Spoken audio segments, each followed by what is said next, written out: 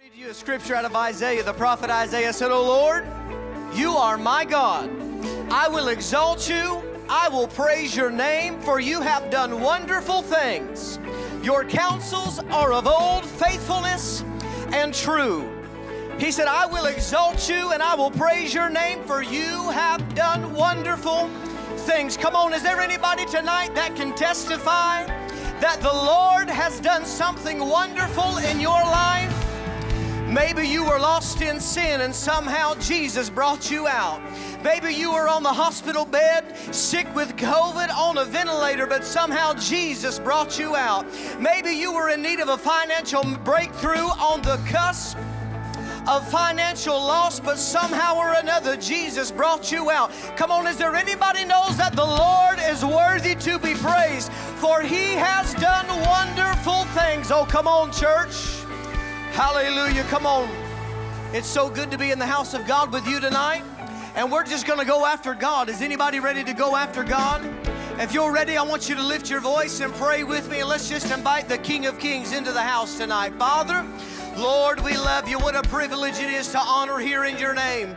God, we don't count it lightly. We don't take it for granted, God, but we know that we know that we know that a king is in our midst. So, we, because royalty is in the house, we're going to give you all, Lord. God, we're going to give you an offering of praise, Lord. We're going to give you an offering of worship, and we just ask that it be pleasing unto you tonight. Oh, Lord, we don't have to invite you here because this is your house. We're just thankful to be here. So, Lord, we just give you all the glory and the honor and the praise. And with a shout, the church said, Amen. Come on, if you're ready to praise the Lord, why don't you just make your way down to this altar? Maybe some of you need some room to get in and get free for God. Why don't you just go ahead and step down and get in the river tonight? Come on, if you're ready to go after God, let's go. Come on, put your hands together tonight.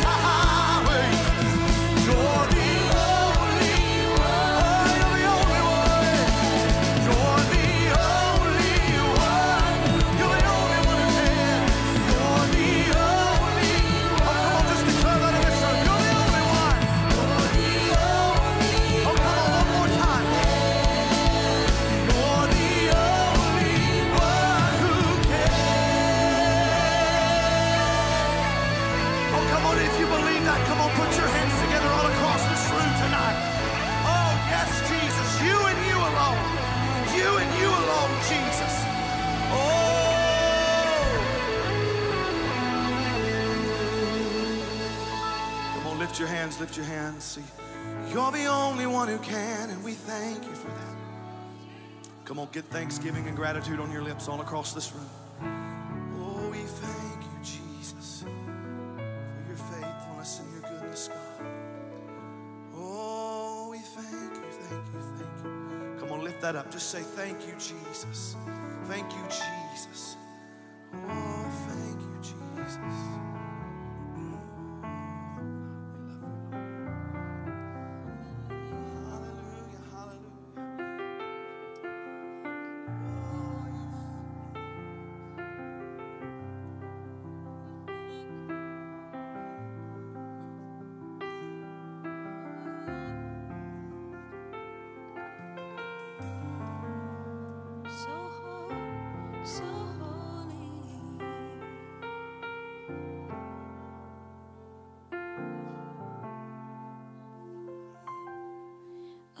Thousand generations bowing down in worship to sing a song of ages to the Lamb. And all who've gone before us all who will believe will sing a song of ages to the Lamb. A thousand generations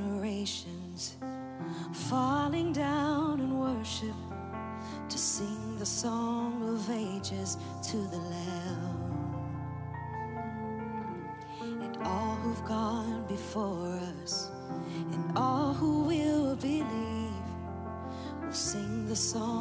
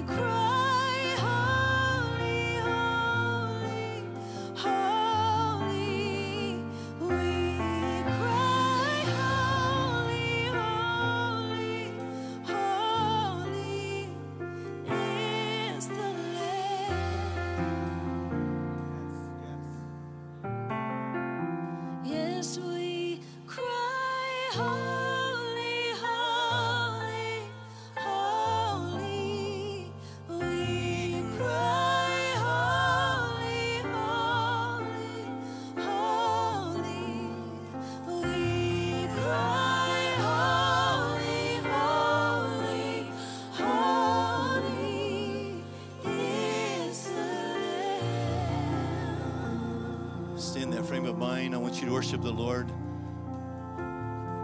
Dylan, would you come here, bud? You, Dylan? Yeah. You just jump up, up there? Amen. I want you to pray. All right. I just felt the Holy Spirit tell me to let you pray. There's a lot of people in this room that can pray, but I feel like you're the one that's supposed to.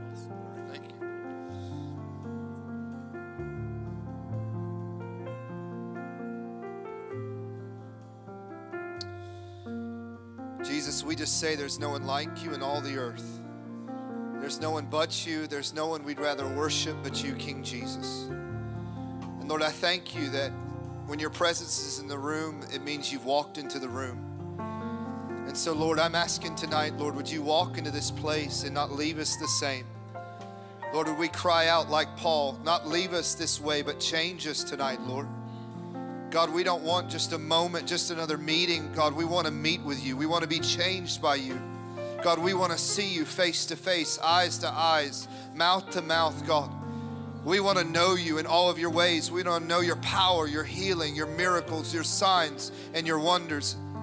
And we want to know above everything your amazing love, God. And then we want to become that to the world around us. And so, Lord Jesus, I'm asking tonight, would you show us your face? Would you show us your grace and your mercy? And Lord, would we hear your heartbeat like never before? God, I ask, would we know the heart of Jesus in this place to transform, to change lives? And Lord, I thank you that you're coming in great power and great authority in this place. Lord, you're coming with a sword in your mouth to divide both soul and spirit, bone and marrow. And Lord, your word comes to transform us. Hallelujah. Your word comes to change us. Yes. And Lord, tonight I ask God, Father, Son, and Holy Spirit, In the mighty name of Jesus Christ, our Lord and our Savior, would you come, our amazing lover of our souls, Amen. and change our lives tonight? In Jesus' name. Stay right there. I'm going to work you a little bit tonight. I want everybody that needs healing in your body to raise your hand. Everybody that needs healing in your body to raise your hand.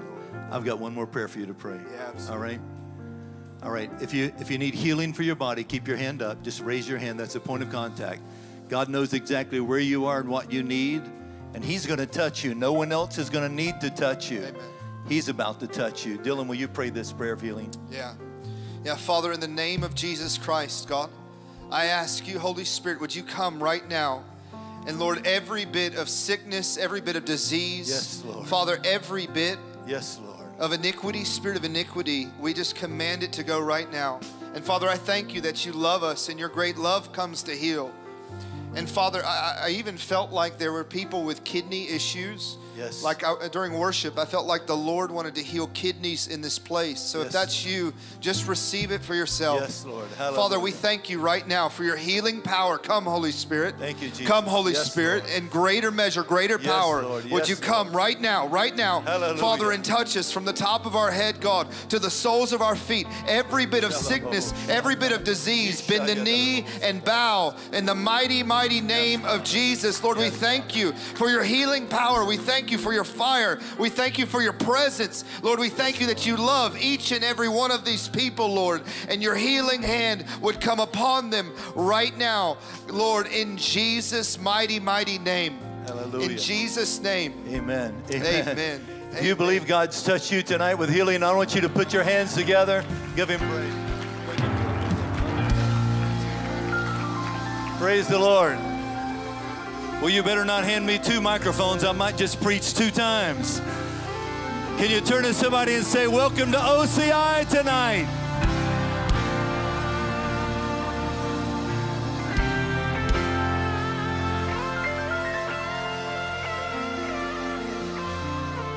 I know that um, I don't want you to get too comfortable yet. We're going to pray one more prayer and then we're going to transition into the announcements. But I just felt led of the Holy Spirit to pray one more prayer. In just a few weeks, thousands upon thousands of young people are going to invade this room. Thousands of them. You know, for those of you who've never been to Warrior Fest, we can't set out chairs for Warrior Fest. There's so many thousands that come, they sit on the floor. And so um, we will have chairs around the sides for some of the adults and some bleachers in the back for some of the youth pastors and pastors who can't sit on the floor. But this room from wall to wall will be literally filled, crammed with young people who have come hurting, seeking, looking, and receiving. I remember one night at Warrior Fest, Perry, a few years ago. I remember one night at Warrior Fest that almost 1,000 teenagers got filled with the baptism of the Holy Spirit in one night. That was an amazing night. So here's what I want. I, I know you just sit down and those are nice seats, but I need you up one more time with me. I want us to pray right now that the Holy Spirit will begin to work even before they get here. Listen, we got two great conferences coming up here. We have Prophetic Summit, which is also going to be packed out from, from wall to wall, but we have Warrior Fest. We even have. Um, I, I, I hate to do this without. I know you've told me, Mandy, and these guys. There's some. There's a youth group coming from another country that's flying in here. Where's it from? Lithuania.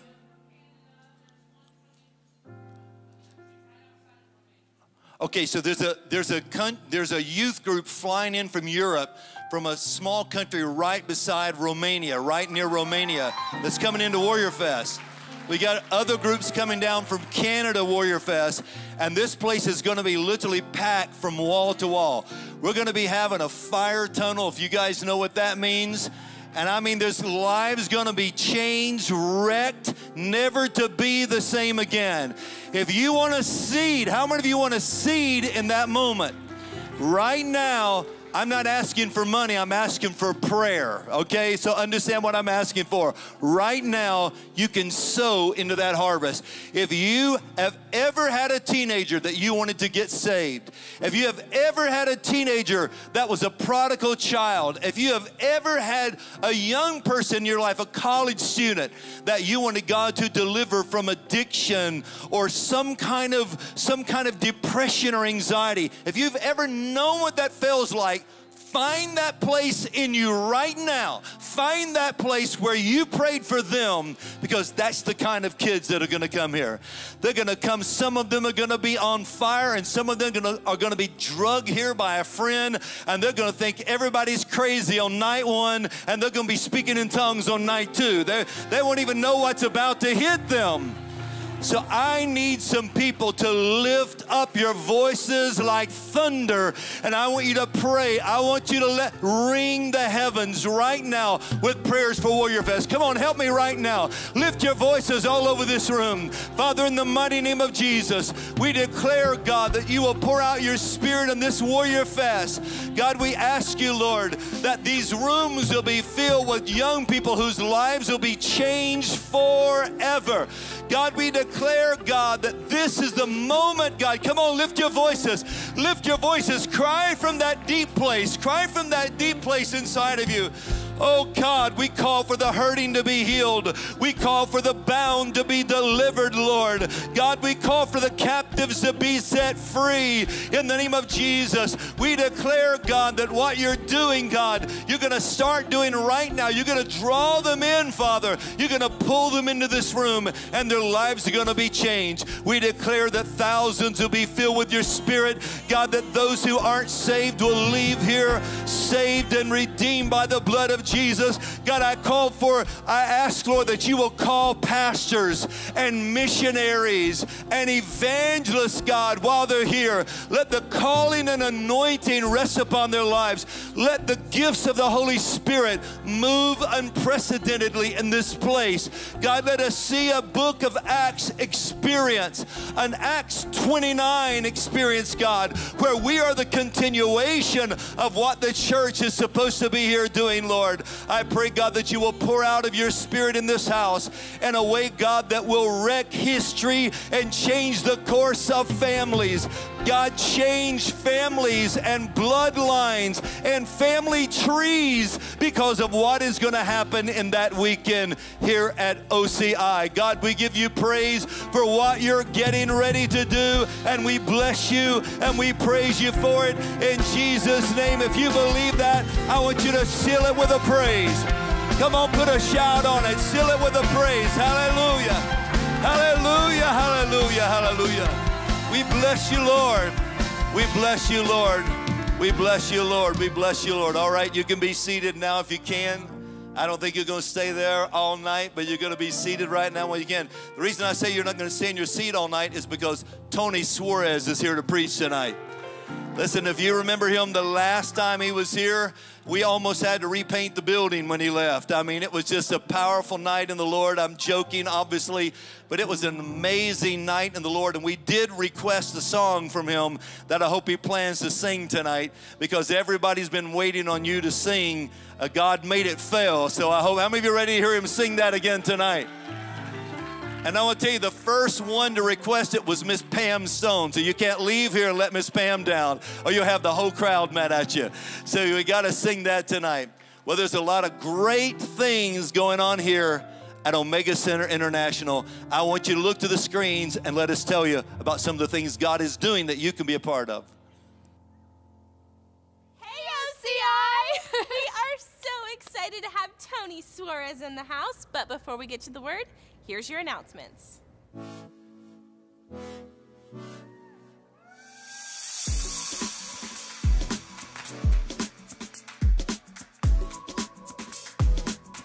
Next Tuesday, March the 26th, we are having a resurrection celebration service. We are so excited. It's going to be a wonderful time spending time with family. We won't have kids' church that night, but we are going to have a blast. And we're also going to have some desserts after service, so you do not want to miss it. I'm excited for all of it and the desserts. Who doesn't love dessert? Attention, parents! If you have a child that is yet to be dedicated, April the 2nd is your day. We are hosting a baby dedication. So if you have a child that you would like to be dedicated, you can click the link that the QR, QR code leads you to and fill out the form. I love getting to dedicate babies. Both my kids are dedicated. All three of mine. and it's great. So we would love to do that for you. That's going to be April the 2nd. Write it down and fill the form out. If you have any questions, you can email us info at oci.live. Attention, all volunteers. If you are volunteering for Warrior Fest, exciting, you want to mark your calendars for March the 28th. We are going to have a volunteer meeting at the ISO building after prayer. So mark your calendars for March the 28th. We are so excited. You still have time to sign up. So if you want to volunteer, be sure to do that. You can go to the Connect Lounge to do it. Our Evangelism on Fire conference is tomorrow at ISO. The doors are going to open at 8 a.m. The conference is going to start at 9 a.m., and this conference is a part of our Million Soul Harvest. We are believing God for 1 million souls in one year. What we're doing is we are believing that God is going to raise up 10,000 pastors who are going to reach 100 people each, which equals 1 million souls. And we're going to do that for free for them. And we're believing that God's going to reach the five most spoken languages of the world, and those are English, Spanish, Chinese, Hindi, and French. I think that is so incredible. That's such a great initiative. If you want to be a part of that, you definitely want to go to ISO tomorrow. Doors open at 8. The conference starts at 9. It is for the Evangelism on Fire conference, and we have seen the lineup. It's incredible. Go to ISO.org to register. All right, that's all the announcements we have for tonight. Kids, you'll be dismissed after offering. Now let's get to the word. All right, all right. How many first time guests do we have here tonight? Any first time guests? Wow, I'm seeing hands in every single section. Isn't that wonderful? Let's give God praise for that. It's so great to have you guys. So, we would like for you to do something if you would. We would love for you to text the word hello to this number on the screen 423 380 2040. If you'll text the word hello to that number, we're just going to ask you for your email address so we can send you an email welcoming you and give you any other information. And then we'll also put you in contact with someone who can answer any questions that you may have as well. I want to reiterate the very first announcement. Uh, I can't believe now, some of you call it Easter, some of you call it resurrection celebration, but can you believe it's already here? I mean, it's like early this year, right? So next Tuesday is our chance to do that. So I've got a sermon. I know that I've just started a series last week called God's Getting You Ready for What He Has Ready for You. And didn't we kick that series off? I mean, wow, what a service that was. I cannot wait to bring the rest of there's about six sermons in that series, by the way, and I personally think they just get better every week. But next week, I'm gonna veer from that and talk about something we have to celebrate, and that is the resurrection of Jesus Christ.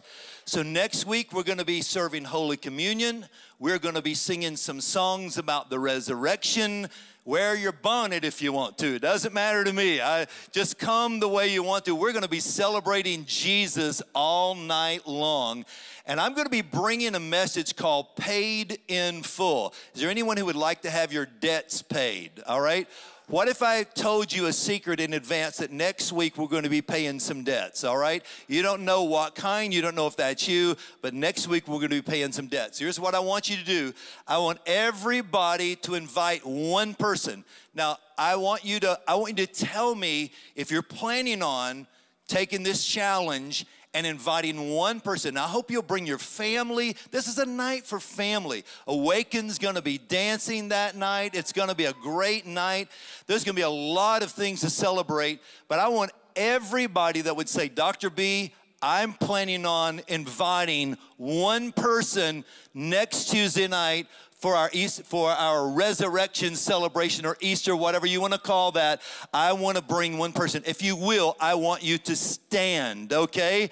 If you're willing to invite one person next week, I want you to stand, okay? Keep standing. I believe that there's more. There's more. The Holy Spirit's still working. He's still working. He's working in the back. He's working in the middle right now. I'm going to invite one person next week. All right, you can be seated. Thank you for that. And I am going to be looking for who whomever you invite. I hope they come with you. It's going to be a great night. We're going to be talking about paid in full. And as the lady has already told you, we will be having a dessert uh, fellowship afterwards out in the concourse. So come and bring your sweet tooth with you because it's going to be a, a, a fun. Yes. Per- Perry wants some sugar free desserts. I promise you, we'll have sugar free desserts, and it's even going to have your name on it. There's a guarantee, all right? So, Perry wants a sugar free dessert with his name on it. Ladies, let's make it happen, all right? Very good. I know that you will. Um, so, I want to I want to walk you through something tonight.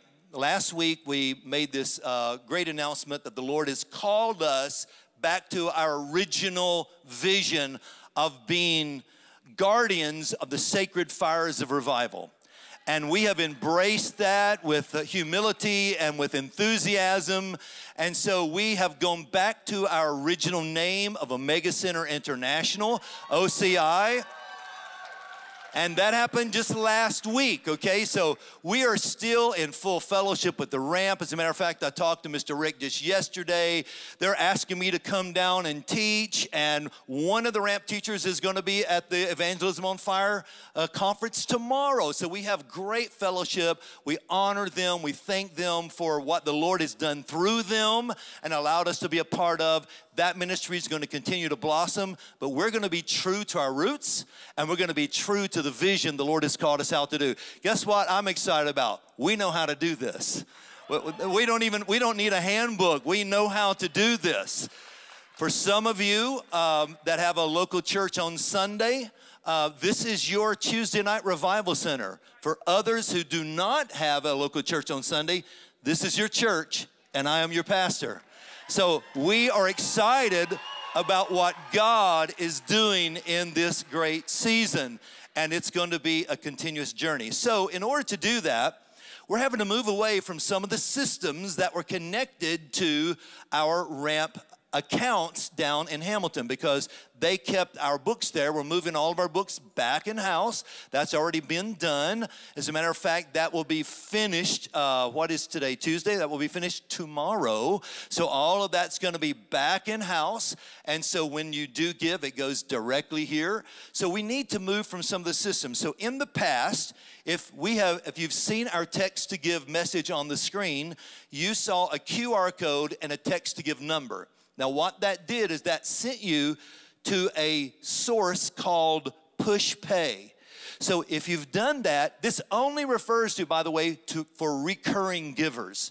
Now, if you just gave one time, you don't have to even think about this, okay? But if you have recurring giving, which I do, if you have recurring giving every week from PushPay, you you will have that QR code would actually take you there, by the way, if you want to use it right now. But you'll need to go to PushPay and it's going to ask you for your cell phone number. That's how you signed up.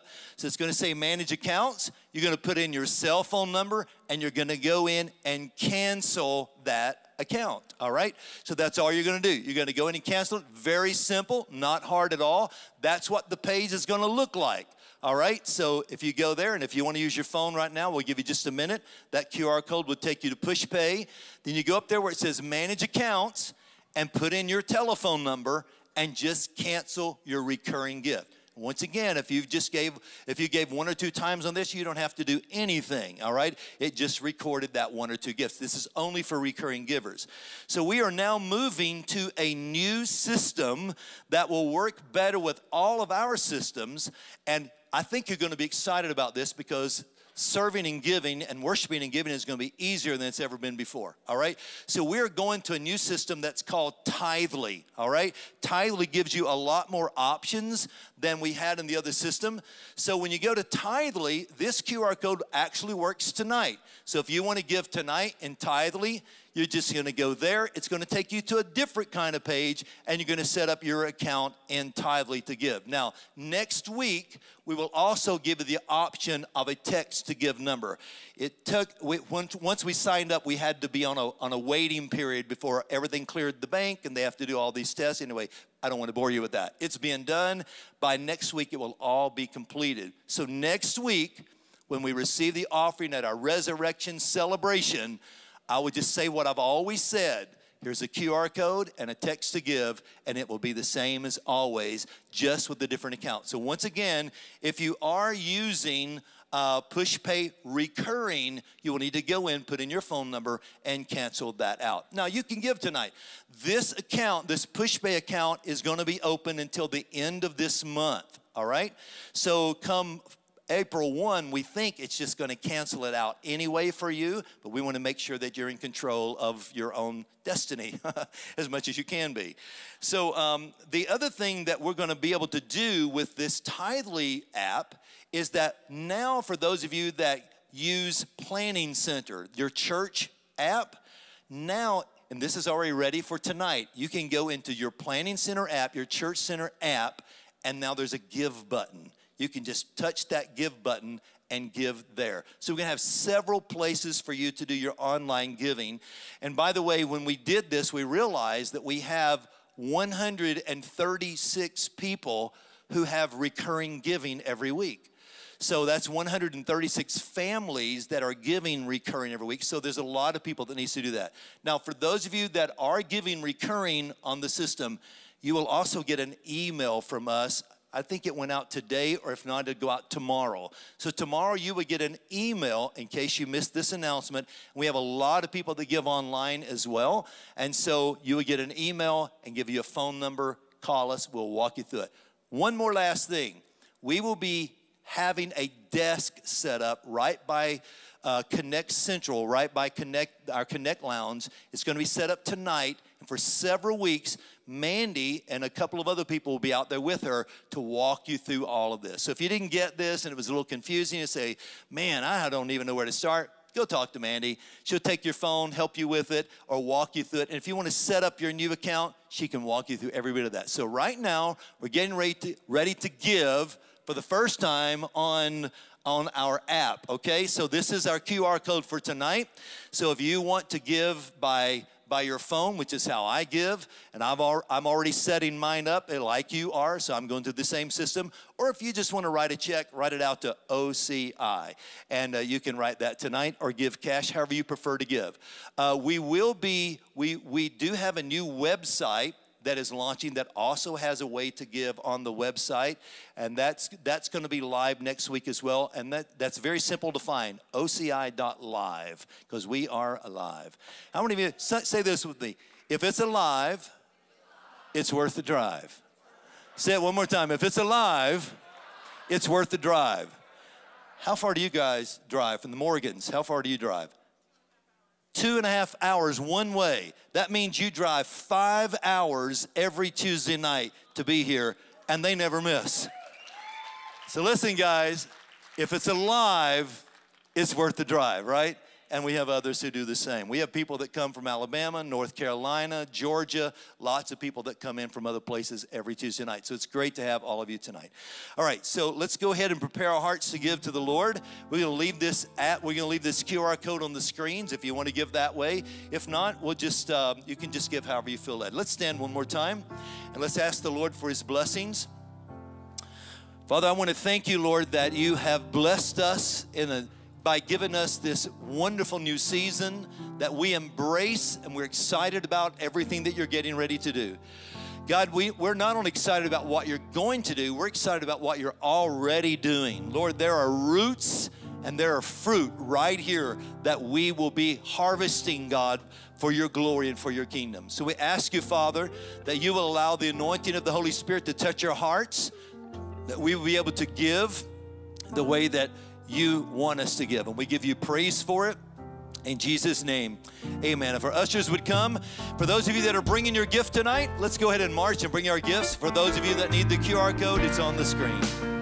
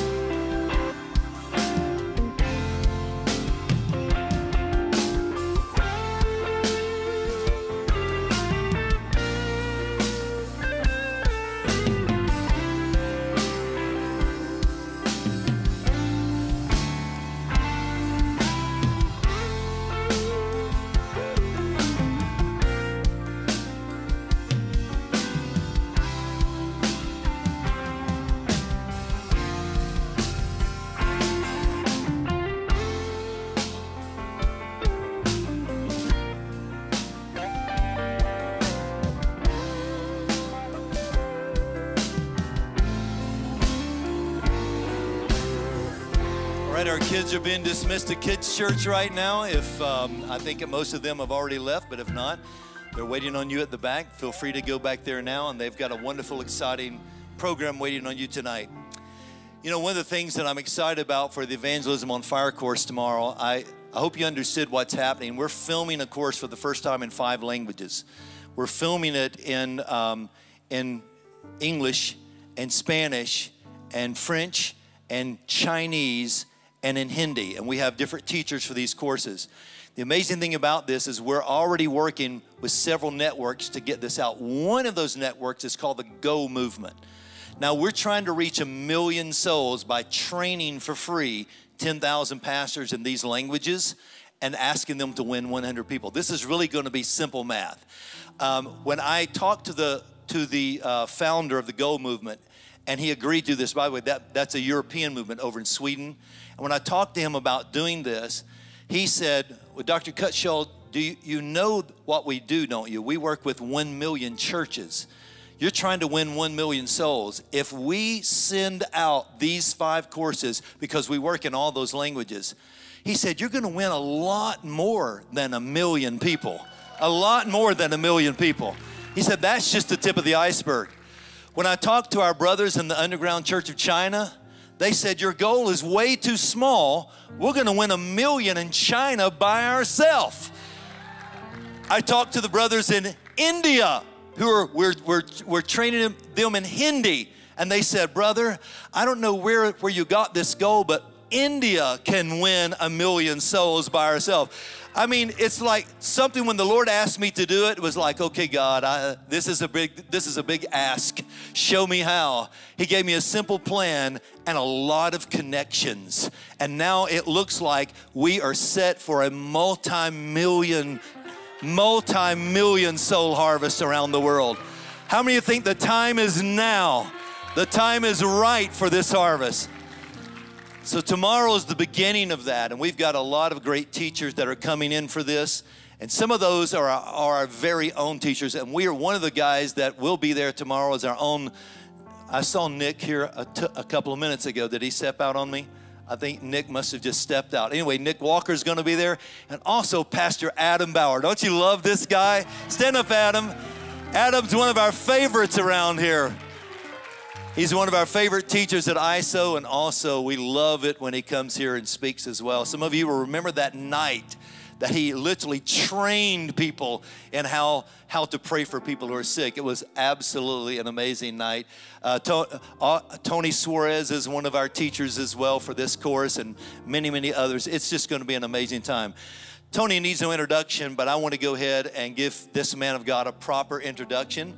So, Tony Suarez is the founder of Revival Makers, a spirit filled evangelistic ministry that travels from church to church as well as hosts events, tent revivals, healing services, and crusades around the world. As a matter of fact, he may tell you this. He's leaving here, he's getting ready to do tent crusades across the border down by Texas and Mexico. And there he's got a team that is driving the entire border, a thousand miles of the border, and they're going to be praying over the border for 1,000 miles and have key prayer stations that they're going to meet up with other people and pray at. I mean, this guy is, is, a, is a, a true world changer. He's a third generation Pentecostal preacher, and that won't surprise you once he gets started. Tony's greatest passion in life is preaching and teaching about Jesus and watching God save and heal. He's a regular host and guest on TBN, the Victory Channel, and other Christian stations. His preaching ministry and program, The Revival Makers, can be found daily on various Christian outlets. In addition to his ministry work, Tony also serves as the Chief Operating Officer of the National Hispanic Christian Leadership Conference, which is the nation's largest Hispanic Christian organization that serves more than 40,000 congregations in just the United States alone. 40,000 congregations in the United States, as well as thousands of other Hispanic churches abroad. We are honored tonight to have a guy who's one of our favorite preachers anyway. And by the way, he's preaching at Warrior Fest too. So this is a little prelude to that. Come on, I want you to give a proper OCI welcome to this great man of God, Tony Suarez, as he comes. Help me give God praise in the tabernacle tonight for what He is about to do. If you stay standing for just a moment, I was born and raised in Chicago. Um, first off, I didn't know that Brother Perry Stone was going to be here tonight, and uh, he's a hero to me. And so I feel a little extra pressure tonight. But I was born and raised in Chicago. I started watching Brother Perry on Channel 38 with a guy named Jerry Rose. And I remember, I can distinctly remember a teaching that Brother Stone did with Steve Munsey talking about the coming of the Lord. Uh, I, I, can remember enough, it was this, a, a teaching about the secret name of God that only a select few in Israel know. And if they were to speak, anyways, I got saved because I, I mean, I'm a church boy but I was probably going to go to hell. But when I heard that teaching, I said, Lord, I don't want to go to hell. I don't want to be here when, when the dirt turns into the secret image. And, and so, anyways, he's had he's had an incredible impact on my life. And uh, I'll tell you a little bit about what happened to me the last time I was here. But what I want to tell you is, uh, I was born and raised in Chicago, and I moved to Virginia Beach 19 years ago. I didn't know anything about farms. Um, rural areas. I still think it's weird to say the word rural. Um, but they took me out to a farm. They want to show me a farm. By the way, this is probably the first time I've ever preached in sneakers, by the way. If my dad, my dad, I was raised holiness. If my dad in heaven sees me preaching in sneakers, he's probably going to come out of the grave and kick me tonight, by the way. But I was on this farm, and uh, farmer's showing us everything, and blue sky, and he just starts sniffing. And he looks around, he said, It's going to rain. I said, Huh? He said, It's going to rain. He said, I asked him, I said, how, how do you know? He said, I smell it. I smelled cows, horses, and grass. But as the Lord lives, about an hour later, it was raining in that part of Virginia. Ladies and gentlemen,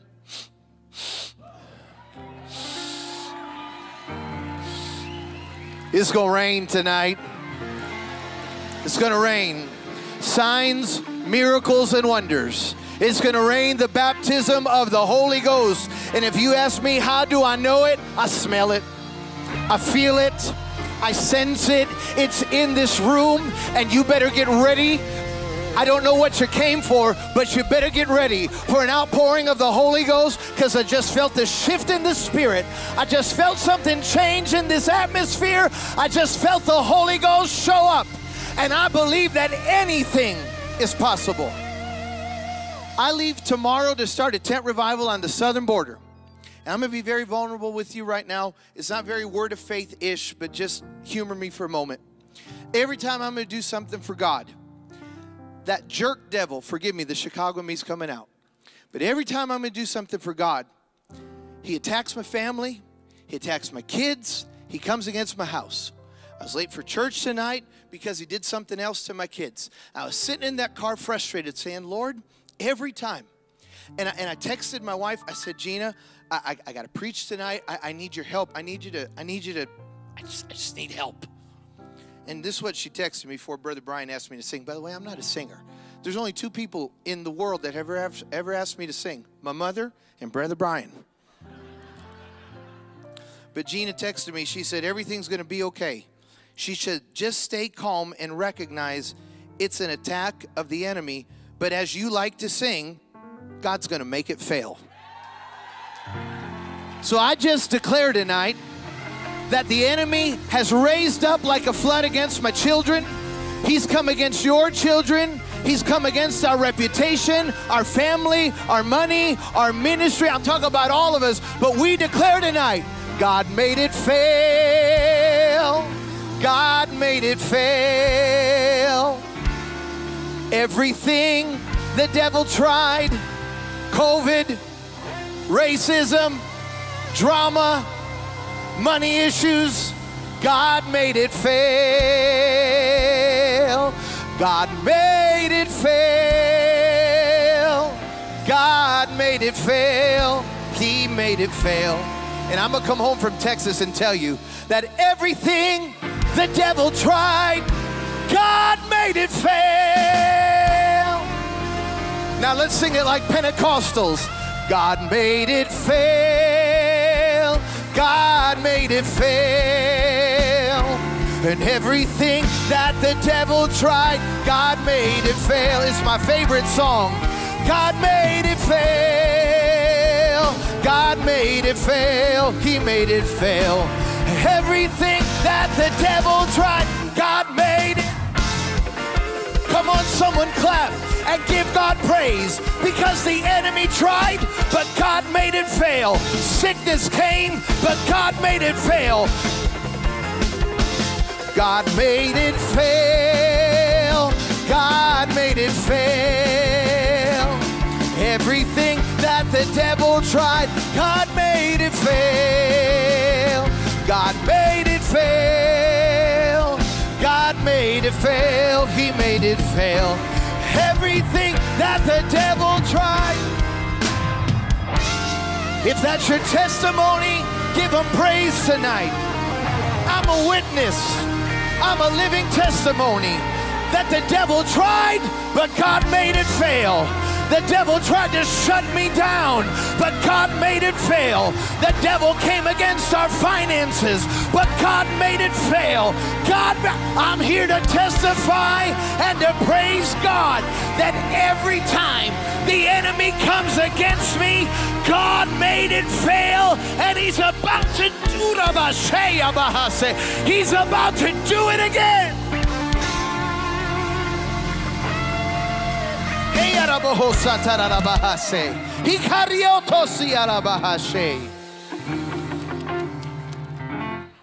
You can be seated in the presence of the Lord. Hallelujah. Goodness. I'm getting drunk up here. Get, might need my own little personal catcher today. Shoo. The Lord knew. Pastor, if I'm being almost uh, honest, I almost canceled because that dumb devil. I'm just being very, very vulnerable and transparent with you. Every time I want to do something great for the Lord, he comes and he attacks. We're going to give him a black eye this week in Texas. I've asked the Lord for 5,000 souls.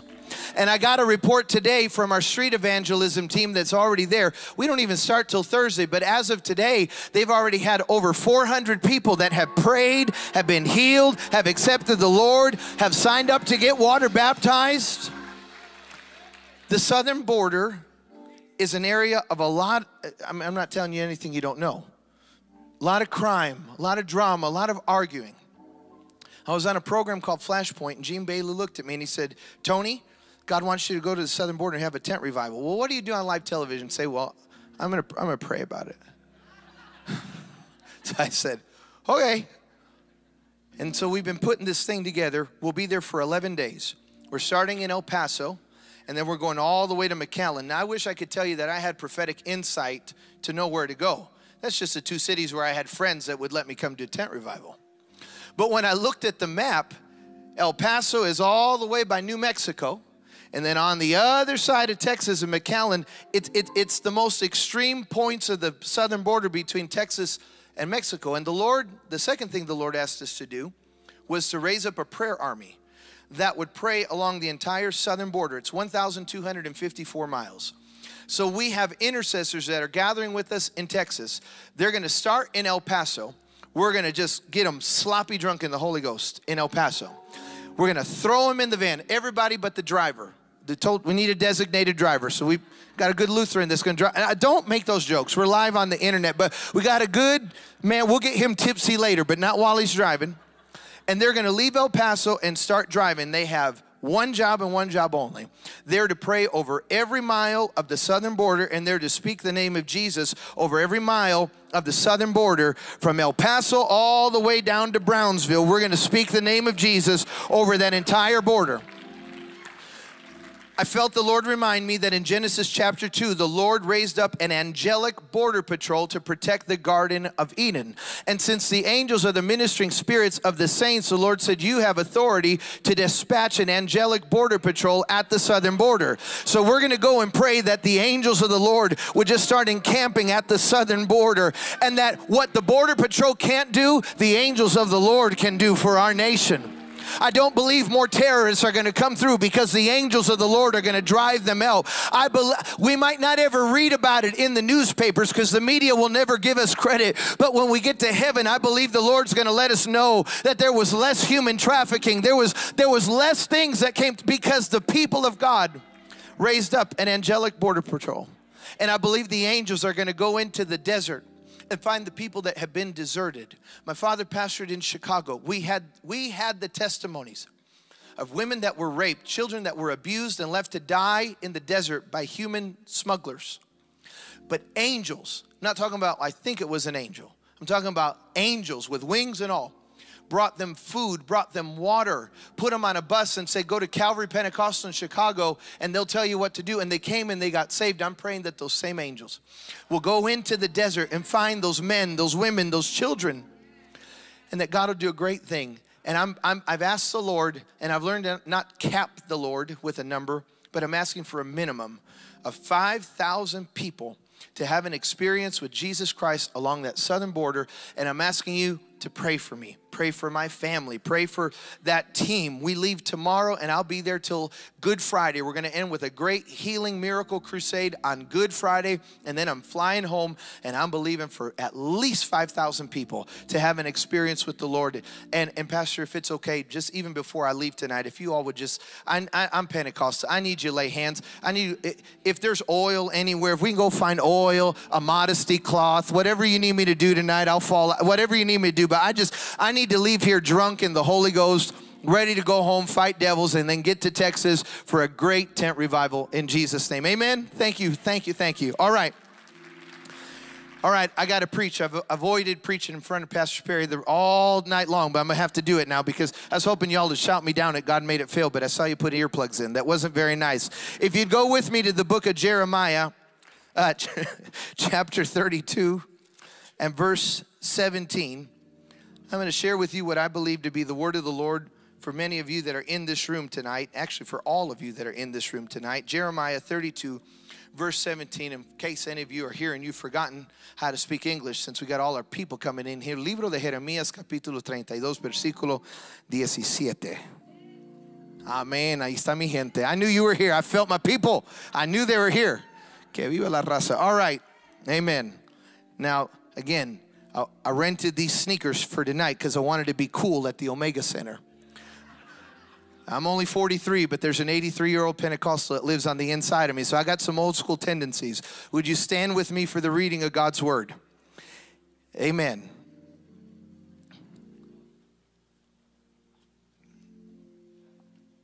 Jeremiah 32, verse 17. I'm reading from the New Living Translation, even though we know Jesus spoke King James. This is what I understand. So it says, O sovereign Lord, you made heavens, you made the heavens and the earth by your strong hand and powerful arm. Nothing is too hard for you. Or as the other translation says, nothing is too hard for God. Father, I ask you to use me tonight for your glory. Let everything I say and everything I do bring glory to you. And I ask that you would confirm your word with signs and miracles and wonders that when we leave this house, we'll say, Surely we've been in the presence of Almighty God. And I thank you for this night. In Jesus' name, and everyone said, You can be seated in the presence of the Lord. The sermon that I'm going to attempt to preach to you tonight is a word the Lord gave me, and He told me that I was to preach this everywhere I go until He tells me different.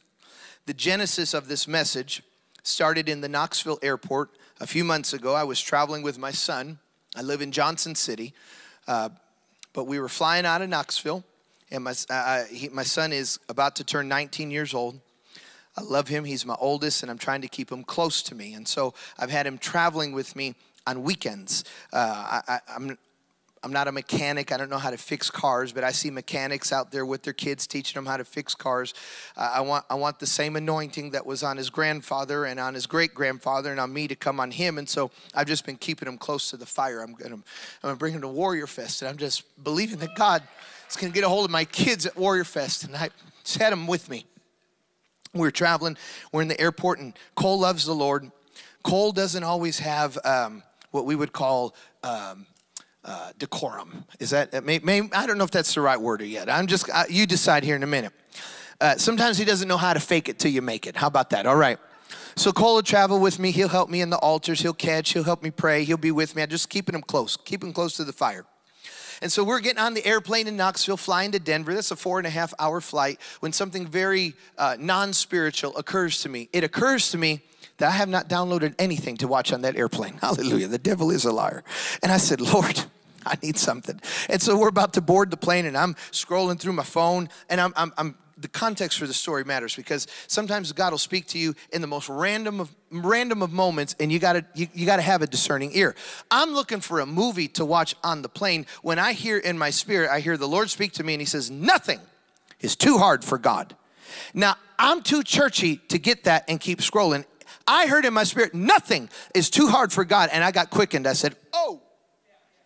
And when I went back, Cole dropped his backpack and he goes, Oh my God, now? He thought I was falling out and he got so embarrassed. Dad, stop. And so I got I got tipsy. I legitimately I was Cole, I'm sorry. Ooh. And he's like, Dad, oh my God, we're in front of so many people right now. Please stop. And so he's like pushing me onto the airplane and I'm just getting on with my boarding pass and you know they won't serve you if you if you're drunk on the plane so I can already tell that I'm not even getting peanuts and I'm I'm just getting on and so he's just kind of pushing me and we get to our chair and I, st- I still got you know i still got a little twitch on me you know and i sit and you know how you can feel when someone's looking at you i look to the side and it's cole looking at me. And I know you're not supposed to swear to God, and please get mad. Don't don't get mad. You know, God's working on my boy. But he looked at me, goes, Dad, I swear to God, I'll change chairs right now. I'll go sit somewhere else on this plane right now. Stop it, Dad. Everybody is looking at us. It is embarrassing. promise I'll move my chair. I'm like, whew, whew, I'm trying. He's like, oh. So I'm trying to come out from under the influence. And I get my phone out again and I opened up YouTube thinking, or forgive me, I went to Instagram thinking that maybe there'd just be something soothing. But you know how Instagram tries to be like prophetic nowadays with the algorithms? They try to read your mail. And so they play you the videos that they think you want to watch, okay? So Instagram knows that inside of this 43 year old body is an 84 year old Pentecostal that likes church the way it used to be. When we get to heaven, if there are different departments, uh, I'm gonna tell you the one I'm gonna choose. You go to the one with the guitars and the bongo rooms. I'm going to the Jimmy Swaggart, G.E. Patterson room. I'm going to red carpets, polyester suits, and there'll be a Hammond organ on my side of heaven. I'm gonna be, there'll be tambourine. When you walk in, you'll pick up a tambourine. You just come in. We'll be huckabucking the whole way in. That's my kind of church. And so Instagram knows what I like.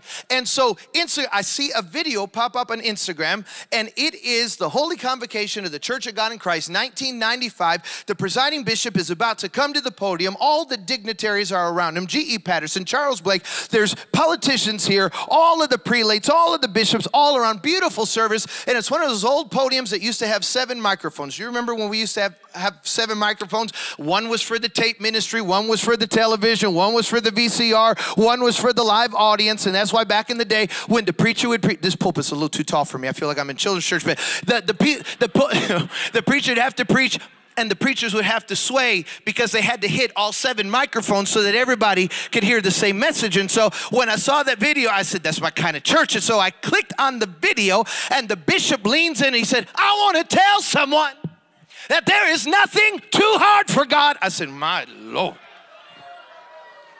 That is the second time I've heard that in the last 10 minutes. But Lord, you know I'm a Pentecostal, so I need confirmation because I don't know what you're trying to tell me. Some of you know what I'm talking about. You can hear it once, you can hear it twice, but you still got to hear it from the Facebook prophet, and then you got to hear it from your TikTok prophet. I'm sorry, I'm sorry, I'm in a bad mood. Can you tell? So, anyhow, I've now heard it twice. And so I go over to YouTube. And you know how YouTube likes to suck you into the videos now? They'll play the video before you can hear the video. And so I go to YouTube and there's a choir in choir robes. You remember choir robes? Back in the day, we never had to worry about what anyone was wearing because choir robes were like the blood of Jesus. It just cover it all. Hallelujah. And so the choir is singing. You remember those old, they had those big, some of you, like, what?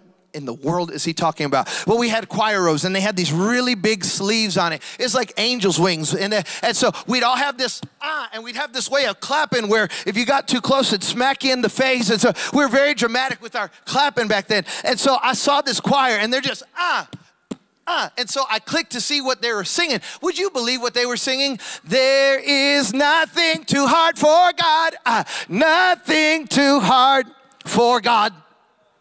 So after the song, the Lord spoke loudly and clearly. He said, Tony Suarez, I've spoken to your spirit. I've had it preached to you, and now I've had it sung to you. I want you to tell my people, until I tell you to preach anything else, I want you to tell my people that there is nothing too hard for God.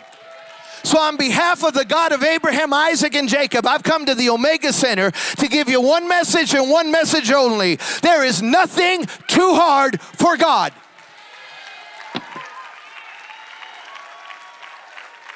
And if you really believed it, and if I really believed it, I wouldn't have talked so much about the devil tonight because there's nothing too hard for God. If I really believed it, I wouldn't be worried. I wouldn't be stressed. I wouldn't be losing my mind because there's nothing too hard for God. I'm here on a mission tonight to convince you and to convince me once and for all that nothing is too hard for God. He said, You're to go everywhere and you're to remind them that nothing is too hard for me. Secondly, you tell them that I said I can. And I said, You can what? He said, that Let them fill in the blank. They know what they're needing, they know what they're expecting, they know what they've been praying for, and you just tell them, I can. So I'm here to declare to you God can heal your body. God can save your wayward children. God can bless that ministry. Pastor, God can give you that building. I'm here to tell you that it's not too hard, it's not too difficult, and God told me to tell you that He can, and I believe that He will. You ought to praise Him if you believe it.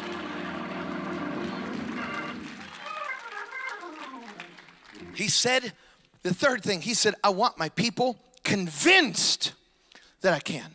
He said, because many are approaching my throne with hope. I want them to approach me with confidence. I want them to come with expectation, believing that I can and that I will. It's this way. This is how I saw it in my head. I see people praying with their fingers crossed, hoping that as they say in English, que sera, sera. Where the Lord needs us to have childlike faith like they do on Christmas. A kid wakes up on Christmas and they just know that they know that they know that when they get downstairs to that tree, there's gonna be a gift waiting for them. It's time to stop approaching the throne of God with fingers crossed, and it's time to come with hands wide open. I learned the highest, what I believe to be the highest level of faith. I learned it, I was about 19 years old. I went to a healing crusade in Chicago because I was hungry for more. I wanted to see more of God. And I remember going to the healing crusade, and they sang for three and a half hours. They sang every song. We were in the, the red hymnal, the blue hymnal, that we were in the, we, we went into the, I mean, we did them all that night and miracles started breaking out like popcorn. No one had to lay hands. No one had to speak a word. God was so high and lifted up in that place that it was liter- literally impossible to stay in the condition you were in. And I had never been in an atmosphere like that, and I was overwhelmed by what was happening. And if you can't tell yet, I can't sit still. I pace a lot. And so I paced my way out of the stadium into the lobby. I was just overwhelmed by what was happening. And when I got to the lobby, there was women that were just yank- yanking pulling on the doors. Security wasn't letting anyone else in because they were at max capacity, but these women are pulling on the doors, screaming through the door, Let me in! Let me in. Security wouldn't let him in. And I saw this lady, I heard her. She said, You don't understand. If I get in there, I'm going to get a miracle. And it hit me. Oh, this is the difference. No one had ever come to my church ready to kick doors down. Don't kick doors down in Omega Center, by the way. No one had ever come ready to kick a door down. No one had ever driven to the church determined if I just get in there, if I can just get in the presence of God, I know I would be healed. They did not come with their fingers crossed. They did not come hoping. They came expecting. And that's where I found what I believe to be the highest level of faith. It's called expectancy. I expect a miracle today. I expect you to be healed. I expect you to receive the baptism of the Holy Ghost. I expect your child to be delivered from drugs tonight. I expect you to be debt free. You say, but you don't know me. You're right, I don't know you, but I know your God and I know what He's able to do. And He reminded me that there's nothing too hard for Him. He said, I want my people convinced that I can. He said, they just have to fill in the blank.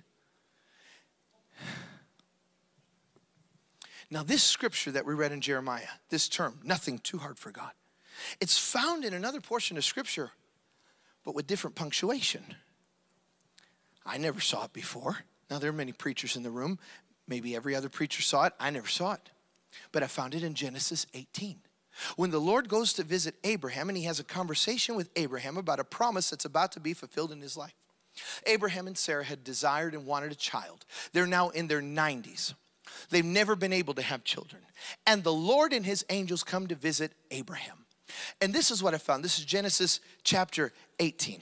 And I'll park here for a moment. I just want to share with you and then and then we'll move on and I'm going to start ministering to people. Genesis chapter 18. Uh, if I don't talk about verse 9, remind me to talk to you about verse 9.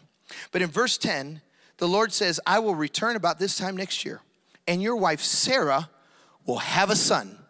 Now, this is the thing they always wanted. This is the thing they've been believing for. And when the promise comes, there's no praise break. No one says, Hallelujah. No one falls out. No one sows a seed. No one waves a hanky. They get their promise, and the Bible says Sarah was listening to the conversation from the tent. Now, here's the context Abraham and Sarah were both very old by this time. Sarah was long past the age of having children. So, verse 12 so she laughed silently, not hilariously, not obnoxiously, silently. She laughed silently and she said to herself, How can a worn out woman like me? Enjoy such pleasure, especially when my man is so old. That's what she said. In other words, what she's saying is, I could if I wanted to. I just don't know if he can. As of Republicans and Democrats, we're blessed because of the lion, the lamb, and the dove, and I'm blessed.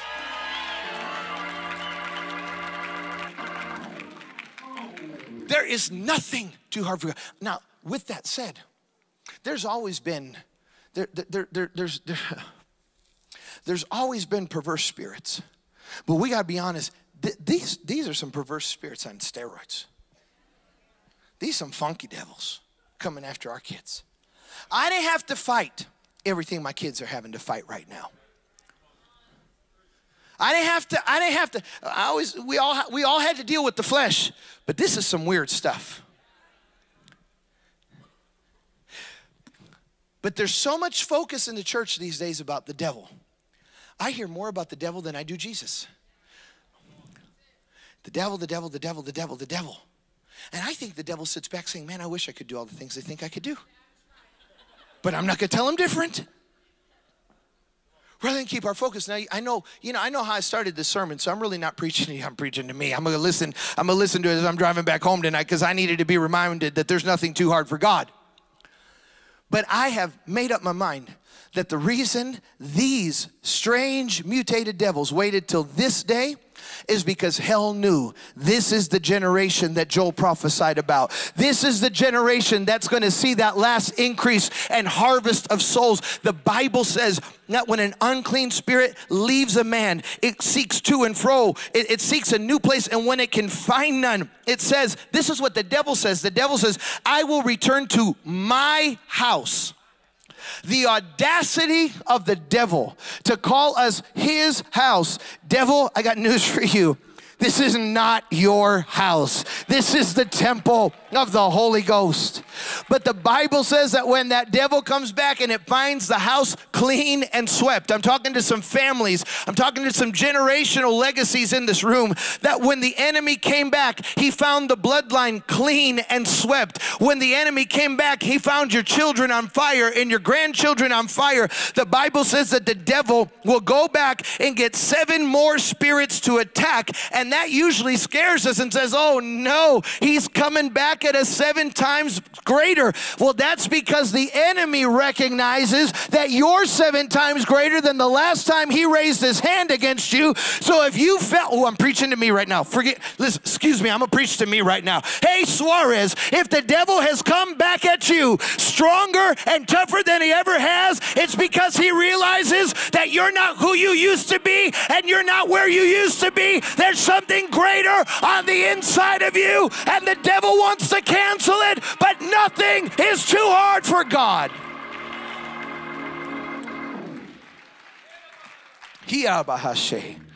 There's nothing too hard for God. Nothing too hard for God. That sickness isn't too hard for God.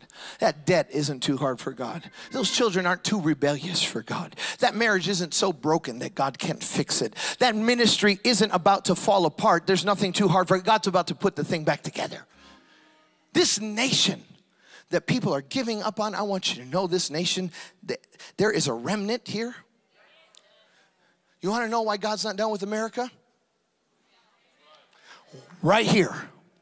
If Abraham could negotiate the salvation of his family in Sodom and Gomorrah, what makes you think that God would give us any less? You want to know why God's not done in, with America? Because my children still go to school here. We're still living here. And I've been advocating before the Father saying, hey, Lord, spare the nation, spare the southern border, spare my family. You say that's impossible. Oh, no, no, no, no. There's nothing too hard for God. I believe. I heard what they said about the underground church in China. I heard what you said about about India, but I'm believing there's a million soul revival right here in the United States. I don't believe that rel- the revival is simply relegated to third world countries. I don't believe that God can only cause limbs to grow in Africa. I'm believing that those things are going to happen here. And you say, yeah, but, yeah, but, yeah, but. Well, I answer you, yeah, but, but nothing is too hard for God.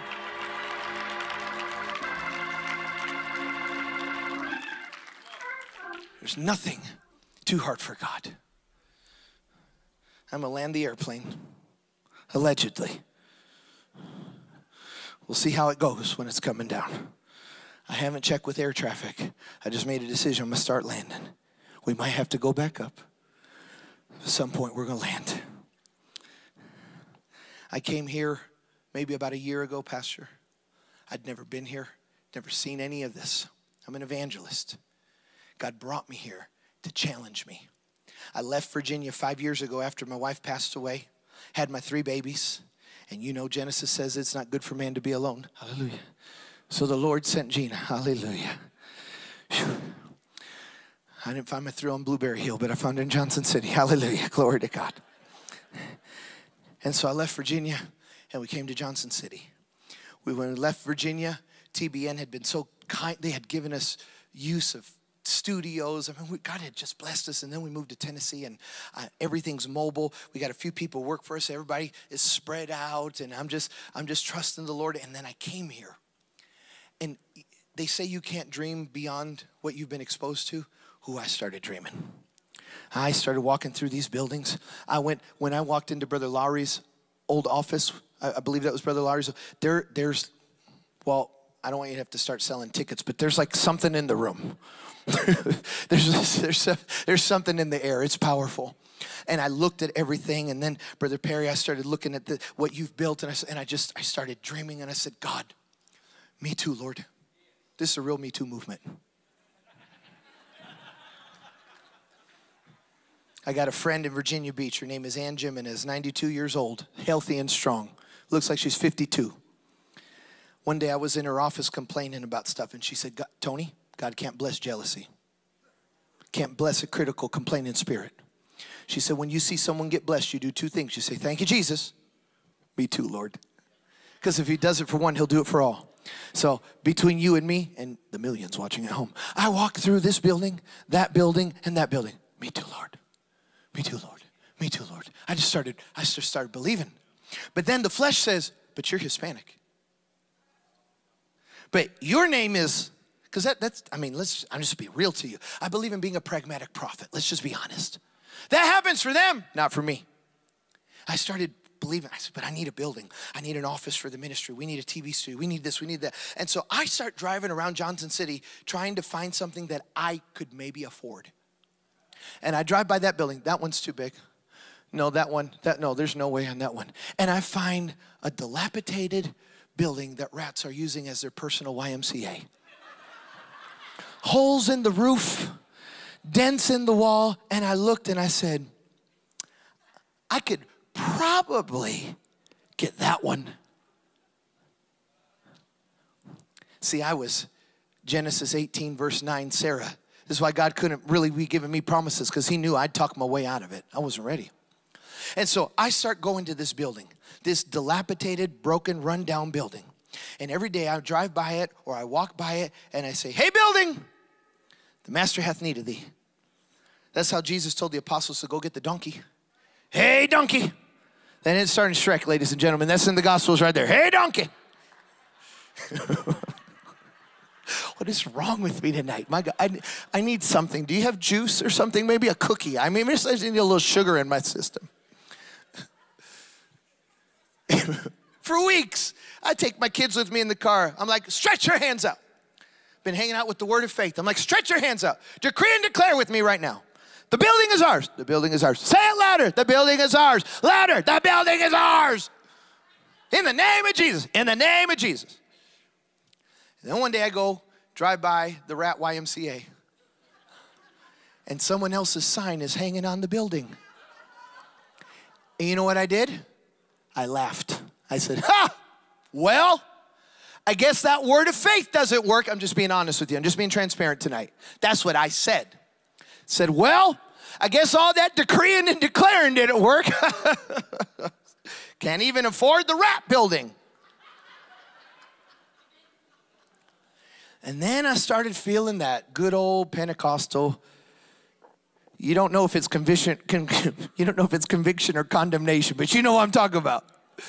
And it came on me, and I heard the Lord speak, and He said, Suarez, do you really want it? Because if you want it, I'll give it to you. But what I have for you doesn't fit in that building. You've never asked me about it. You've never prayed about it. You've just been out here speaking your own mind. If you want it, I'll give it to you. But what I have for you doesn't fit in that little shack. So you can either take that one or you can start believing me for what I have for you.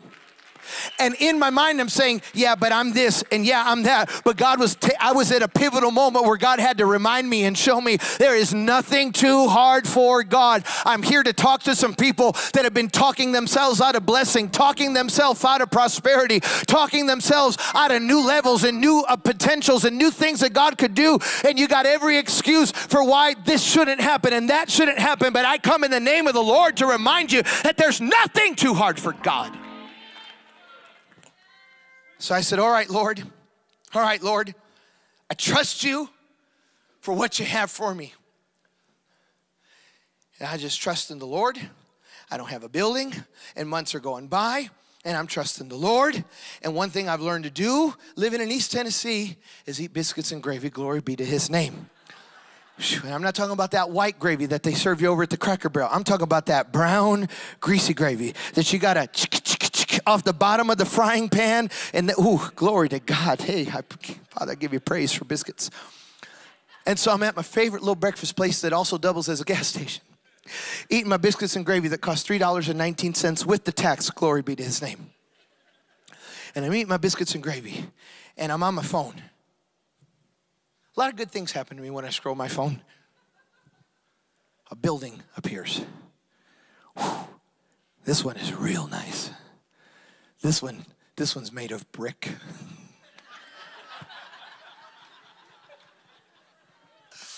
Woo! This one's on the nice side of town. And I was about to curse my blessing, and I said, mm, mm, mm, be careful. I I dialed the number of the real estate agent and said, Hi, uh, my name is Tony Suarez. I'd really like to see this building. She said, Well, I could show it to you uh, probably a week from Thursday. I said, Yeah, that's not going to be good for me. Uh, I got something coming up. She said, Well, I got to be honest with you. There's three other people looking at the building. I said, I have cash. She said, um, Can you be there in 45 minutes? Now, I want you to know with integrity, I did not lie. I had cash. I just never said how much cash I had. Hallelujah. They don't take cash. They don't take credit cards at the biscuit and gravy place. So I had cash. I just didn't tell her. There's integrity in there. I never said how much. I just said I got cash. And I showed up, and when I walked in the building, it was beautiful. You know, we've it, it, the numbers don't matter. We've baptized thousands of people in water the last few years. I walked in, the first thing that stood out to me is there was a big, beautiful baptistry on the back wall. It was the width that we needed. It had enough offices that we would need. It wasn't so big that it was overwhelming, and it wasn't so small that we would just have to make it work. I felt like Goldilocks. It was just right. Hallelujah. Everything was just right. And I looked and I, I just, I don't know, in a moment of faith, zeal, whatever you want to call it, I said, I'll take it. She said, Do you want to know the price? I said, Nope, I'll take it. And then she gave me the price. I'm like, Oh, the devil is a liar. Whew.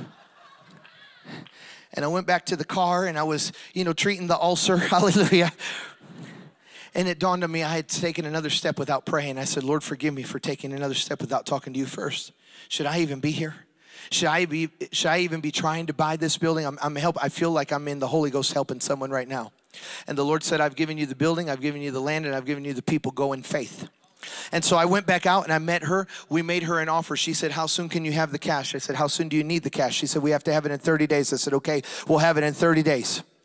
I went on Facebook. I wrote to our partners. I started reaching out to friends, and I just made a decision. We're not going to be beggars. We're just going to present the we're going to present the opportunity, and we're going to trust the Lord. And every day I'd get up re- about to do that, and something would say, "Yeah, that doesn't work for you. No, your your your your, your partners don't do that. Your your your followers aren't going to respond." And I'd have to talk my way out of it. And I'm not telling you I felt any heebie-jeebie come on me. I didn't feel any huckabuck on me. I just had to go stand in faith and just say, "Here's the vision. This is what I'm believing God for. This is what I believe is going to happen in three and a half weeks. We had all the cash to buy the building. We closed debt free on the building. Now we're going to have a television studio in Johnson City. They're hanging the drywall right now. I believe we're doing the renovation debt free. I believe we're going to have it open in June or July, and we're going to have a place to dedicate to God. And it didn't matter that I was a Hispanic living in the mountains of East Tennessee. It, all the excuses that I thought would hold me back from being blessed don't matter when you just realize that there's nothing too hard for God, and I want to encourage a ministry. There was a lady I met that told me she's going to Africa in six days. Where are you? Stand up in the name of Jesus. There's not going to be any lack, there's not going to be any financial need. And not only will there not be a need financially, but I'm believing thousands, thousands, thousands are coming to the feet of Jesus. This is your greatest season. This isn't your latter years. This is your greater years. A second wind comes upon you tonight in the name of Jesus. Someone give God praise in this house.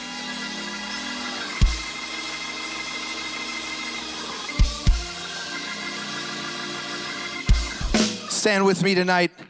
We're going to land the plane. Nothing too hard for God.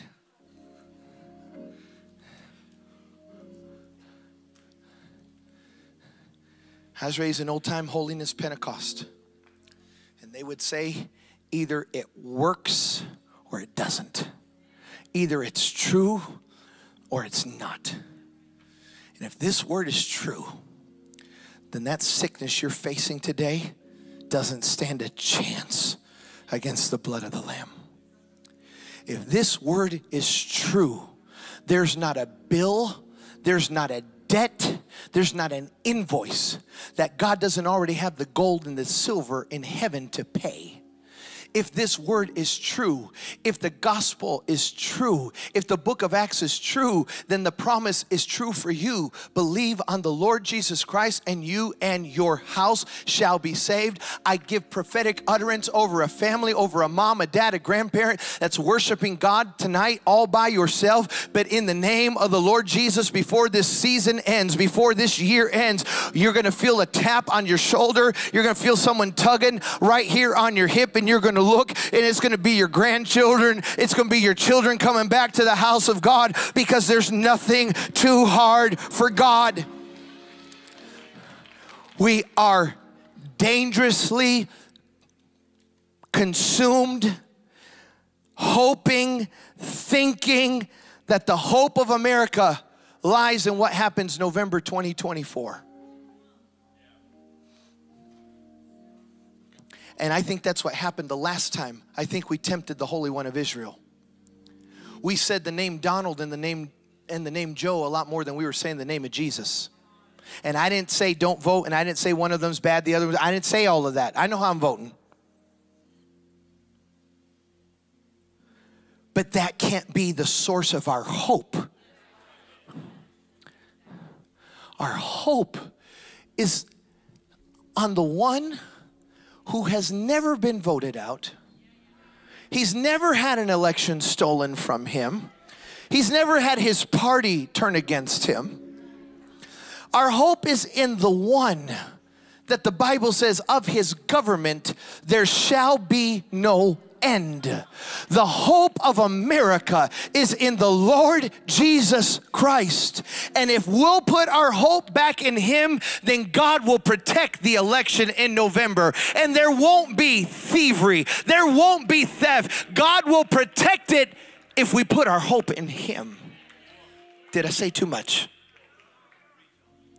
Our hope is in Him. I don't know what you're facing tonight. I don't know what battle you're going home to. But on behalf of the Lord, there's nothing too hard for God. I know what I'm going home. Whew. Ladies and gentlemen, I, tonight wasn't respectfully, I'm going to say it this way. I don't know if it was for you, but it was for me. Because sometimes you got to preach yourself out of the pit. Sometimes you got to encourage yourself. As, as Bishop Jakes used to say, sometimes you got to buy your own tape. Hallelujah. I'm going to go home determined. There's nothing too hard for God.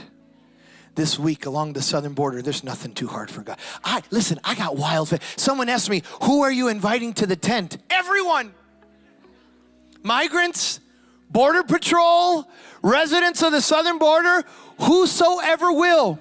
They're bringing a group of children that are currently in the detention centers. They're going to bring them to the gospel tent to hear the revival every night while we're in McAllen, Texas. The Border Patrol, there's families that are coming. I want you to know that there are tongue talking, Holy Ghost filled Pentecostal Border Patrol agents. I've met them, I've spoken with them. They're going to be under the tent. And the tent in McAllen is set up in a city called Pharr, P H A R R. If 40 years ago, R.W. Schambach was arrested and put in jail because he put a tent up in Pharr. I didn't know this till a week ago. I didn't know this until after they donated the land to put the tent up. He got arrested, and the charge was preaching the gospel over a loudspeaker. Do you know what I'm gonna do this week? I'm gonna preach the gospel over a loudspeaker. I'm gonna practice medicine without a license. I'm not gonna be prescribing, but I'm gonna be prophesying.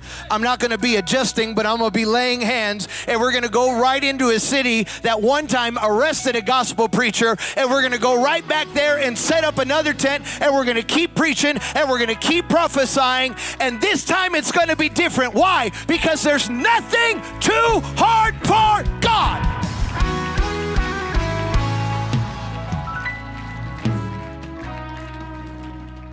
All right, that's it. I'm landing the plane. If you have an impossible situation, if your situation feels impossible, if it's been overwhelming, if it's keeping you up at night and you're tossing and turning, if the doctor doesn't have an answer, the courts keep postponing, and the lawyer doesn't know what else to do, when I count to three, I want you to join me in this altar. But don't come hoping come expecting. The only thing I can't tell you is when. I've never understood God's timing. I would do a disservice to heaven if I tried to put a time stamp on everything. All I know is He can and He will. If you've been attacked in your body, your family, your finances, your mind, anything. If tonight you need a big miracle, one of those there's nothing too hard for God kind of miracles, then when I count to three, I want you to join me in this altar on this Tuesday night. One, two, two and a half, two and three quarters, three. Come right now. Haria boho shabrakando sarabai. Korea taraboho sharabaranda sehere kosiaya.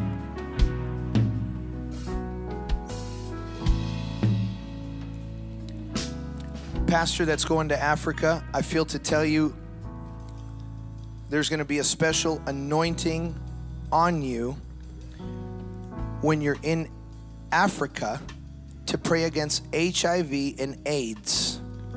There are going to be multiple reports of people that are going, their blood is going to be healed, not because of a pill, but because of a prayer. And when I lay my hand on your head, you're going to catch your second wind and you're going to step into your greatest season and you're going to come back so addicted from revival after Africa, people aren't going to know what to do with you. Hey, whoa, woo! I felt that. I felt it. Lady, when I lay my hand on your head, what a chiropractor hasn't been able to do, what electroshock therapy hasn't been able to do, what stretching hasn't been able to do. One touch of the Holy Ghost, side, does it right now in the name of Jesus of Nazareth. Brother, take one step forward. I pray for your ears tonight. I don't know if it's physical, but it's definitely spiritual. And I'm changing the channel from what you've been listening to. For the old song says, Whose report will you believe? It's time for you to believe the report of the Lord. For his report says you're blessed. His report says that you're prosperous. His report says he's not done with you. His report says it's time for the new thing, saith the Lord. And as I lay my hand on you, this is something I've prayed over others, but as I laid my hand on you, I saw it over you. I see question marks just floating just floating. But this is the season where the Lord is going to send his angels and they're going to grab hold of those question marks and they're going to straighten them out. And what used to be a question mark is going to be an exclamation mark. And rather than say why, why, or when, when, you're going to say wow, wow, because the Lord does the work for you in the name of Jesus. Oh, yes, there's nothing too hard for God in your situation either. Hallelujah to the Lamb. Hallelujah. If your name is Kimberly and you need God to touch you, would you wave at me? I just heard the name Kimberly. Hallelujah. Is there Kimberly? Oh, Kimberly. Kimberly, Kimberly, Kimberly. Kimberly, Kimberly, Kimberly. When I when I spoke your name, is it okay that I pray for you? Oh, she said, "Oh yeah." Got me a good Pentecostal right here. So I pray for? Oh yeah. She's ready when I called you over, I instantly felt a, a pain, a tension in my arm that came out of nowhere. So the first thing I feel to pray for is your arms. Lift both up to heaven because those are your Holy Ghost antennas. We're going to make a connection with heaven right now. Oh, yes. Thank you, Jesus. Left arm by the laying on of hands to be touched, be loosened right now. Kimberly, does that sound good? Does it sound like something you would might need from God tonight? Yeah, she said, Yes. She's getting tipsy herself right now. Oh, Sister Kimberly, the Lord is going to pour out the oil of joy on you tonight. Hallelujah. You're about to catch it. You're about to catch it. You're about to catch it. For this healing the Lord gives you is not just physical, it's emotional and it is spiritual. You've been known. People people like coming around you because you're usually a happy person, but sometimes you've had to laugh even when you don't feel like laughing, but just just because it's your persona, you just got to be the happy person. But now you're not going to have to fake it. This is joy that comes from heaven. Oh, God and Hallelujah, hallelujah. You ought to praise him like your name is Kimberly tonight. The Holy Ghost is here.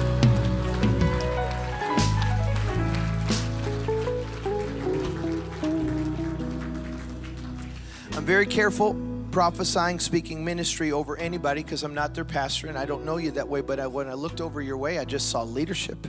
I just saw leadership. I just saw this authority that you have in the spirit. Specifically, when you worship and when you, and when you sing, I want you to know that there's some battles that are simply going to be won in worship. There's some things you won't, there's some swords you won't have to pick up because your sword is your song. And when you sing, it'll be just like David. You'll sing and the spear of Saul will miss you. The, the, the Lord will cause them to just fly to the left and the right. You won't have to fear. You'll just praise. There's power in your praise. And I just, almost like a Pied Piper, if you will, it'll be through song and through music, through the arts. I just see you leading a group of people and they're going to come out of something and go to a new place. And, and I just, and just relish it. And if I don't, I don't, I said if because I could be wrong on this. But if an analytical spirit ever tried to get you to be so uh, science oriented that you try to figure out everything that God's trying to do, you try to break it down like it's math, I'm here to tell you you can't do that. So I turned the analytical switch off of you tonight in the name of Jesus and I turned the faith switch on. Whoo! you won't be able to strategize and figure everything out, but just know there's nothing too hard for God in the name of Jesus of Nazareth. Hallelujah. Hallelujah. Hallelujah.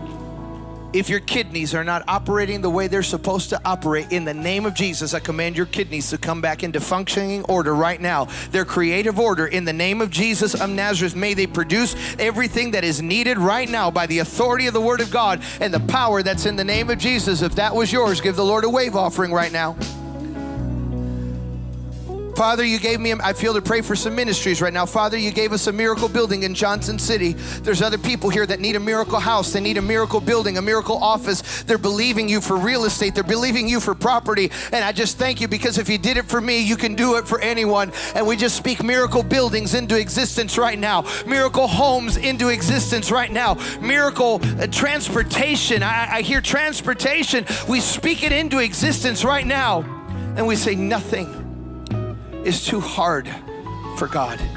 Pastor, am I okay? Okay, I'm, I'm just checking. You got to be under authority for it to flow.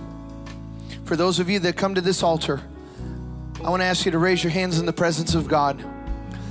I'm going to pray the prayer of faith the way I was taught to do, the way I know to do. And I'm, I'm going to ask you to respond in faith tonight. If it's not your custom, then just humor me tonight because it's my custom. I grew up in a shouting church.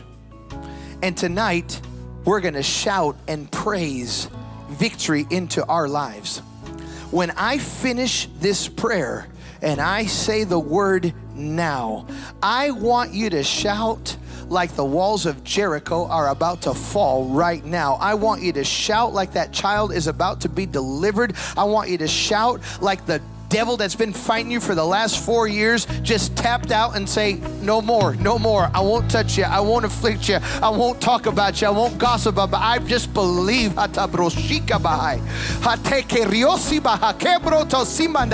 I just believe that if tonight we would act in faith, I just believe tonight the walls are coming down.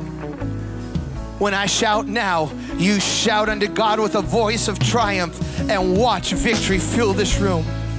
By the authority of the Word of God, by the power that's in the name of Jesus, I take authority over sin, sickness, and disease.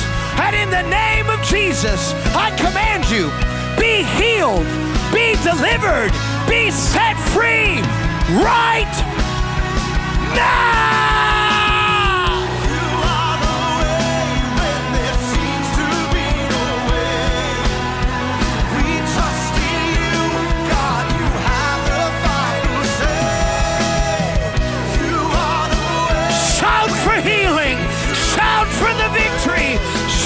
for the blessing. Shine!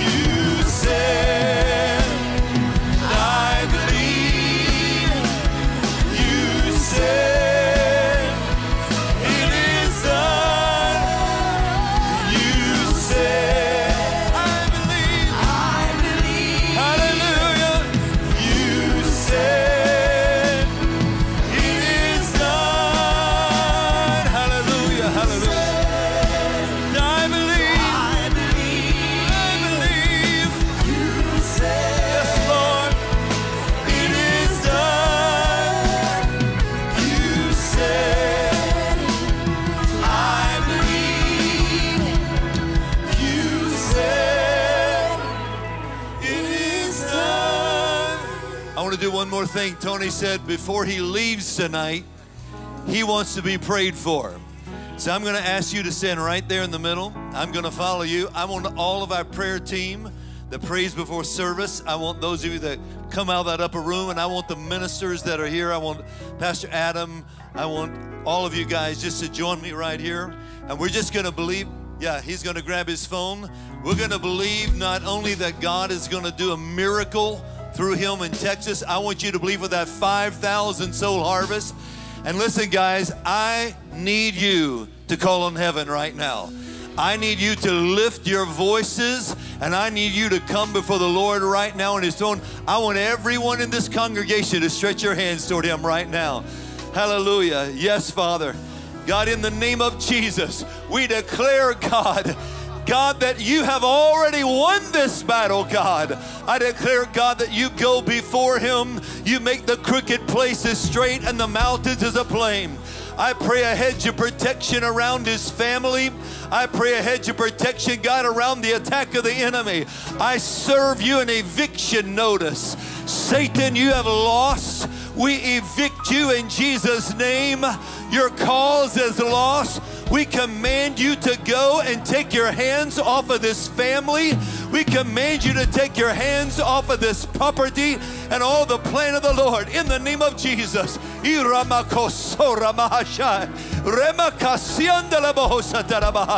In the name of Jesus, God, I call in the souls of the border. I call in the souls of the border. I call in revival in the border. God, set it ablaze for your glory. Set it ablaze, God, in the name of Jesus.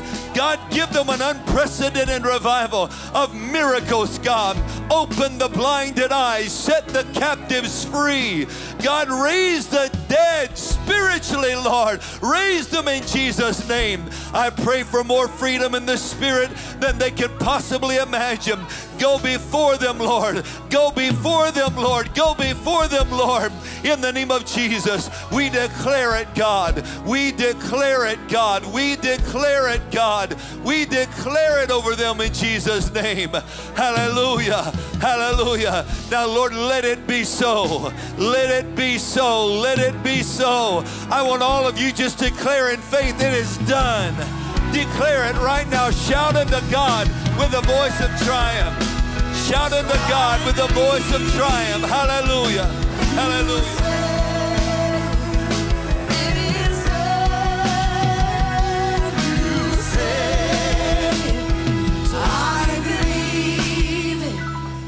We just had someone believes a prophetic word that we need to pray right now for the cartel to be saved. So we're going to ask God for greater things right now. Yes, save the people, but save those creating some of the trafficking. Save those creating some of the trouble. God, God used to give God used to give Charles Finney all kinds of miracles. He would go into a city and the gangs would be saved. So we're going to believe for that same anointing. Father, in the name of Jesus, we declare, God, a hedge of protection. We, God, we declare a hedge of protection and a cloud of witnesses to show up. We declare that angels from the north, the south, the east, and the west, let seraphims gather, let cherubim gather, let archangels gather in the name of Jesus.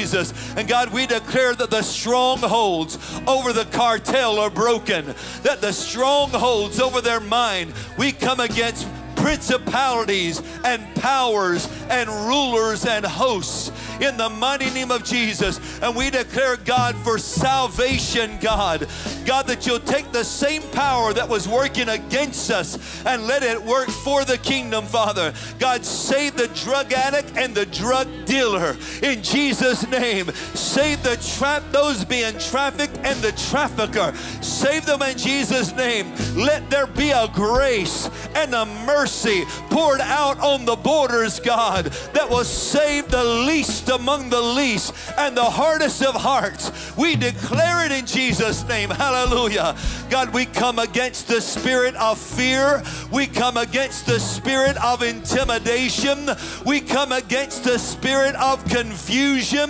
And we pray for clarity and boldness in Jesus' name. We declare, Father, God, that a hedge of protection and a spirit of boldness. God, I pray the spirit of David over, over my brother, God. I pray the spirit of David over, over Tony Suarez, Lord. Put a slingshot in one hand and the sword of Goliath in the other. God put a slingshot in one hand and the sword of Goliath. Let him decapitate the enemy in Jesus' name. We declare, God, that you are the ruler of it all. God, give them miracles, unprecedented miracles in Jesus' name. Rema